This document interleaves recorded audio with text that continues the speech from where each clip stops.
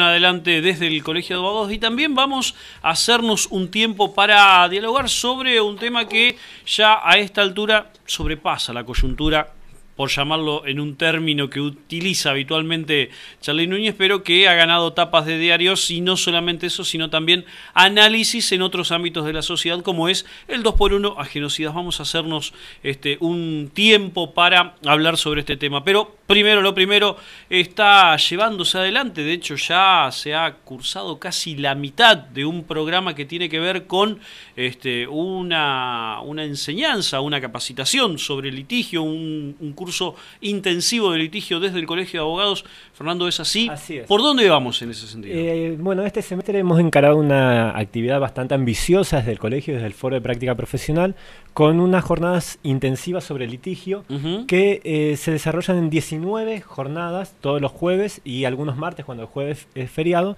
que van desde el 2 de marzo hasta el 6 de julio.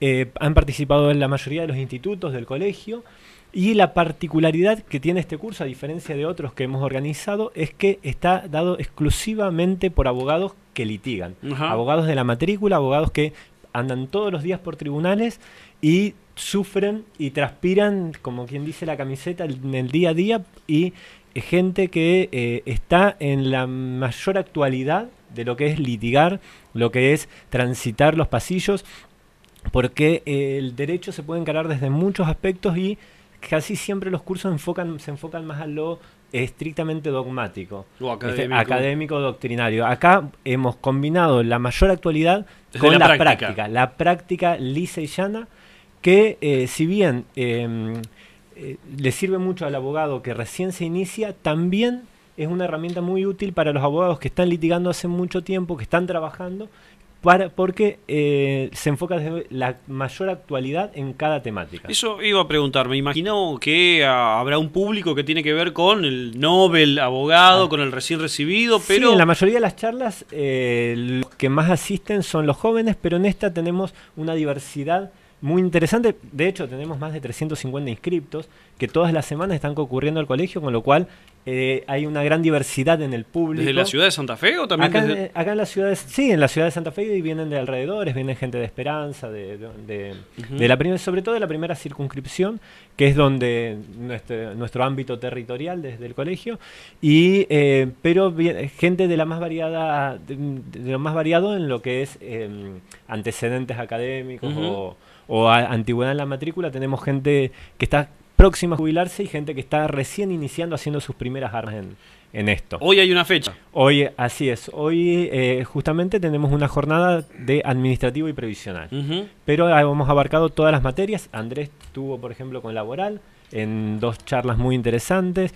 Eh, hemos tenido proceso civil y comercial, proceso administrativo, eh, labor, em, este, eh, tenemos penal en junio, en breve. Así que todas las materias han sido tocadas en este, en este curso intensivo. ¿Qué conclusión se puede sacar de, de la cantidad de inscriptos que hay? 350 no es una cantidad menor. Eh, ¿De qué habla que 350 Es que- abogados eh, Mm. busquen un curso para saber cómo litigar? Nosotros cuando empezamos con Andrés en el 2008 con el foro de práctica profesional, eh, vimos que el, los, las facultades, las facultades, las dos facultades de derecho es- tienen un muy buen nivel, un excelente nivel, pero en eh, lo- la, la academia En la facultad no está el y- pasillo y de cuando tribunales, nosotros salimos, claro. y cuando nos Exacto. recibimos, cuando nos recibimos y empezamos a litigar, nos encontramos con un montón de dudas, un montón de problemas, eh, y que los fuimos sorteando con la ayuda de algún conocido, con la ayuda de alguno este, mm, con más trayectoria, con algún eh, pariente, los que tienen. Yo, por ejemplo, no tengo parientes abogados, entonces tuve que recurrir y hacerme un poco más solo, y desde el foro siempre intentamos eh, cubrir ese bache que vemos tiene hoy la, la facultad.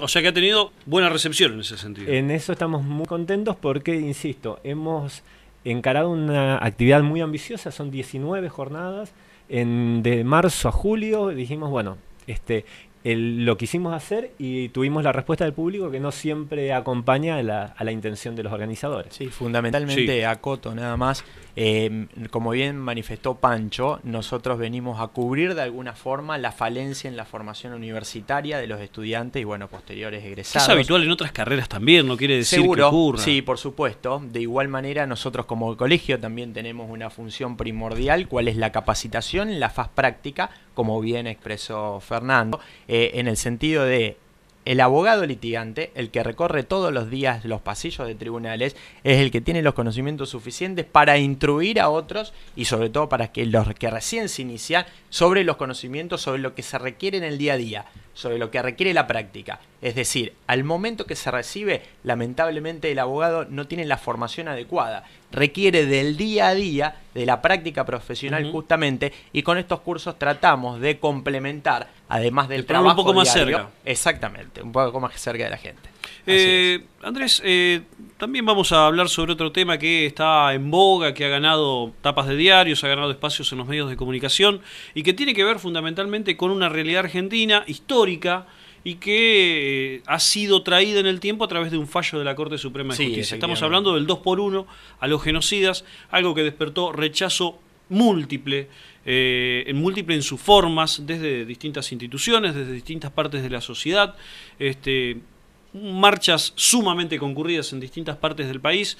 Eh, ¿Cuál es la postura que hay desde el Colegio de Abogados? ¿Qué es lo que se puede decir? Mira, en primer lugar, eh, quiero dejar de manifiesto que el Colegio de Abogados todavía como institución no adoptó una postura en uno u otro sentido a favor o en contra del fallo. Como vos dijiste, se trata de un tema de gran trascendencia y de suma envergadura, por lo cual, de gran trascendencia social me refiero, por lo cual requiere un análisis exhaustivo de los institutos especializados y obviamente del directorio en sí. Obviamente como hombres vinculados con el quehacer de la justicia y como hombres vinculados con el derecho, cada uno tiene su opinión y su análisis sobre la reciente jurisprudencia de este fallo de la Corte Suprema de Justicia de la Nación, el que aplicó el 2 por 1 para los delitos de lesa humanidad. Como hemos pronunciado también en otros medios, tenemos que hacer un enfoque de diversos puntos de vista.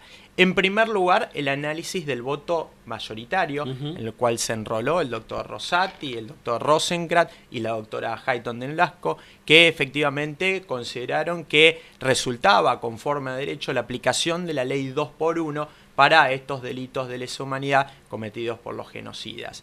La otra postura, la disidencia de Lorenzetti y Maqueda, marcan que en virtud de la existencia de los tratados internacionales de derechos humanos suscriptos por el país, que tienen igual jerarquía que la, de la- que la Constitución Nacional, que se establece que el Estado debe sancionar y perseguir adecuadamente a las personas, a- justamente a los autores de estos delitos atroces contra la humanidad, como cometieron los militares en, en la época nefasta para el Estado. Em, planteada esa base, tenemos que verificar si el fallo es justo. Más allá de la letra de la ley, si hay justicia. Y me parece que si lo analizamos bajo esa premisa, de ningún modo podemos decir que dejar en libertad a un genocida que no cumpla la pena completa desde ya que luce una notoria injusticia de esa conclusión Claramente. arribada por la mayoría. Además, sin lugar a dudas, el Estado ha suscripto convenios internacionales que eh, tratan sobre justamente la persecución contra los genocidas, eh, el respeto, bueno, la convención sobre las torturas, que justamente impone obligaciones para el Estado y que, bueno, justamente esas obligaciones se enmarcan... Esos en convenios están a la altura de las leyes. Sin lugar a dudas, leyes. efectivamente. Es decir, que se puede interpretar para uno u otro lado. Ambas interpretaciones, tanto de la minoría como la mayoría, se ajustaron a derecho. La famosa biblioteca vista Sin de los lugar dos a lados. duda, pero por supuesto, yo particularmente me enrolo en el voto minoritario de los doctores Maqueda y Lorenzetti, que dijeron que no era aplicable el 2 por 1 justamente también eh, fundamentado este fallo, este, el voto de la minoría, por antecedentes de la Corte que estipulaban que los delitos de lesa humanidad son imprescriptibles, que no cabe el indulto ni tampoco la, amnistía. Por lo tanto, hablando justamente qué es lo que debemos buscar como actores sociales y vinculados al quehacer de la justicia, hay que buscar justamente ese valor, justicia. Y el, el fallo no luce este valor que todos debemos procurar como ciudadanos de bien.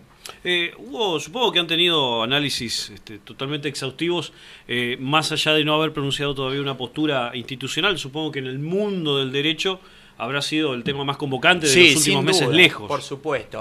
Eh, a ver, hemos escuchado todas las voces, como vos dijiste, y no solamente desde el ámbito jurídico, que se pronuncian a favor o en contra. También tenemos que dejar a salvo eh, la idoneidad de los magistrados que se pronunciaron mayoritariamente, sobre todo el doctor Rosati, conocido por la, por la ciudadanía santafesina, porque justamente es nativo de aquí de Santa Fe, que nadie puede reprochar sus antecedentes académicos y morales y por eso hoy ocupa con justicia un lugar en la Corte Suprema de Justicia de la Nación. También advierto con injusticia lo que ocurrió con el pedido de juicio político sobre magistrados que de alguna forma se pronuncian y tienen una interpretación, nos guste o no, como ciudadanos, ajustada de alguna forma a la ley, porque ellos lo fundamentaron. Una cosa es que se aparten notoriamente de la letra de la Constitución y la letra de la normativa, que ahí sí existe el delito de prevaricato. Pero como hubo un pronunciamiento de un fiscal que elevó, que obviamente que ahora lo tiene que resolver el juez Rafeca, a ver si estos magistrados incurrieron en prevaricato, me parece que institucionalmente es muy grave porque se está violentando la independencia de poderes. Y eso es lo que todos tenemos que tratar de salvaguardar en aras a respetar y sobre todo cuidar la salud de la República.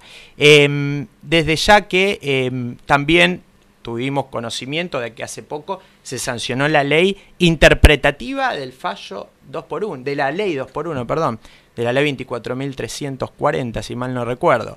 Me parece que el Congreso Nacional actuó más que nada por el sentir social, pero no sé si eso es constitucional es muy discutible si es constitucional en la ley posterior. Más allá que ya dejo sentado, ya dejé sentado en mi punto de vista acerca del fallo. Me parece que los legisladores también tienen que actuar prudentemente y de acuerdo a la ley, no de acuerdo a lo que son presiones sociales, pero por supuesto, más allá que nos guste o no la jurisprudencia de la Corte. Muchísimas gracias a los no, Gracias, a Los esperamos cuando lo